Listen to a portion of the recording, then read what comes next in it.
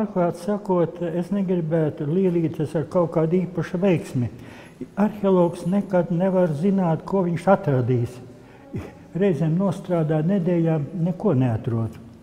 Bet reizēm nāk tā, ka katru dienu kaut kāda, nu, kā bieži vien saka, iedod lāpstu un tūlīt nāk vairākas senlietas. Nu, šis atradums, protams, ir unikāls no tāda viedokļa, ka mēs bijām izpētījuši praktiski visu šo pilsētu teritoriju. Un tur bija desmitiem pavadu, krāsnes, celtnes un tālāk, kas apdzīvotas no 12. gadsimta beigām līdz 14. gadsimta vidum. Jā, tā ir pilsēta.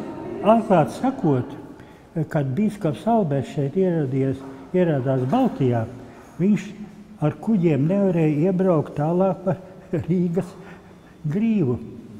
Viņš atstāja kuģus un tad ar laiviņu devās tālāk e, pa e, upi Daugavu uz augšu. Kāpēc viņš brauca tur? Tāpēc, ka Rīgas vieta vēl bija tikai lībiešu apdzīvota, bet vācieši bija uzcēluši pilis Salaspilī, salā.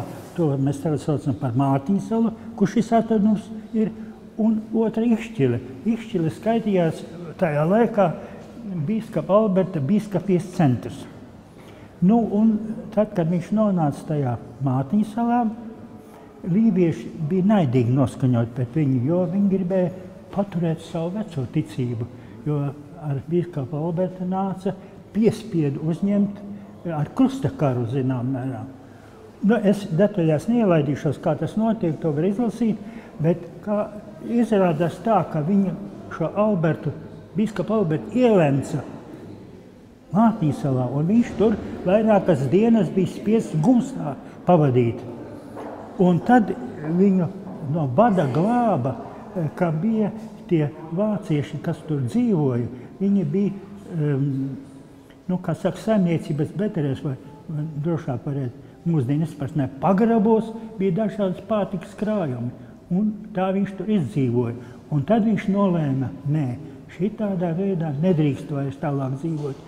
Ir jāveido tuvāk pie Daugavas grīvas apmetne. Nu, tā lūk, sāka veidoties Rīgas pilsēta. Bet, ne, protams, ne tas vienīgais iemesls, bet viens no tiem bija šis biskupa Alberta dramatiskais pārdzīvojums, ielenkums šajā Silispēlī. Vairāk kā desmit gadus vēlāk viņš izdeva šo privilēģiju, ka vajag tomēr savu vietējo naudu ka Rīgā vajag kaut naudu. Tad jau tā Rīga jau bija izveidojusies par tādu vācisku apmetni. Bet es neatstāstīšu Rīgas vēsturi. To, tas, kā saka, zināms, ka te arī bija pilis, gan bīskapa, gan ordeņa pilis, gan baznīcas jau uzceltas un tālāk.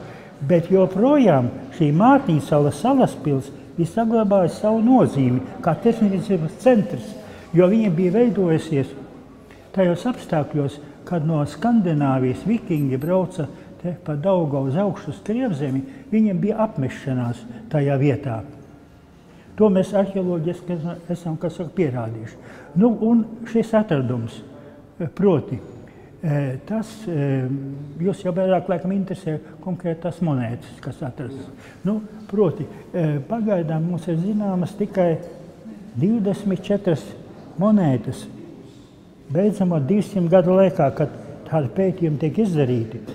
Jo tad jūs saprotat šī atraduma unikalitāti, ka vienā depozītā atrod uzreiz 22 monētas.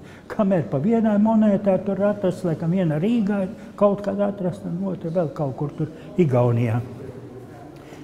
Nu, un lūk, e, šeit tad praktiski sāka veidoties šī vietējā naudas sistēma, bet par to es nerunāšu, tas ir numismāta jautājums. Es vienkārši jums raksturošu, kā mēs atradām to. Proti, eh, arheoloģija ir tāda metodika, ka, lai izpētītu kādu objektu, vai tas ir krāsnes, senā celtne vai pavards, viņi izdara tādu kā griezumu. Vien, vispirms vienu pusi izsmeļ, tā lai varētu iezīmēt eh, visu to plānā, tur ir parādīts arī. Nu, un pašā eh, tā pavada pamatnē zem akmeņiem piepieši mēs uzdūramies tādam vīstoklim. Protams, tā drāna jau bija satrūdējusi tā, bet visas tās monētas bija vienkopus. taisni tie brakteāti, kā tu sauc. Atkal tā laika apzīmējumos fenīņi.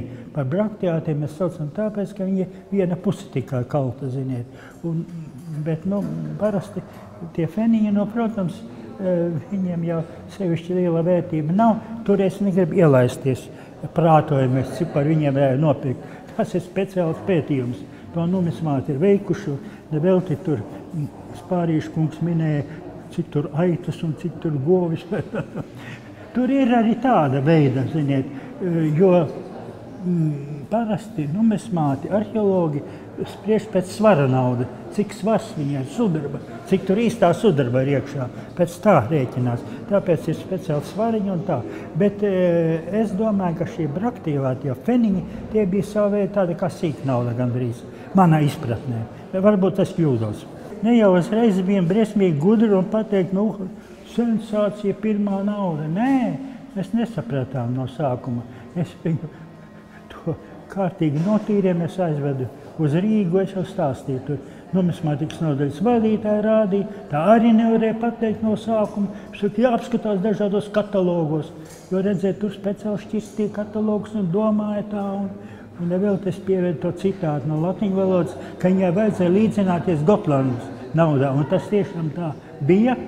Un, un tas bija kā attēls un tas scepters un, krusts. Un, un tad bija skaidrs, ka tā ir eh, tā biskupa Alberta e, nauda. Bet e, padomu laikā tas skaitījās tā, tāds aizdomīgs. Ziniet, jūs tur ar tādām lietām, protams, jums nav kur interesantākas lietas, ka nodarboties. Bet redzēt, mums vajadzēja tās pilis pētīt tāpēc, ka viņi saplūdināja. No, no pieminiekļa aizsardzības viedokļa mēs to strādājam.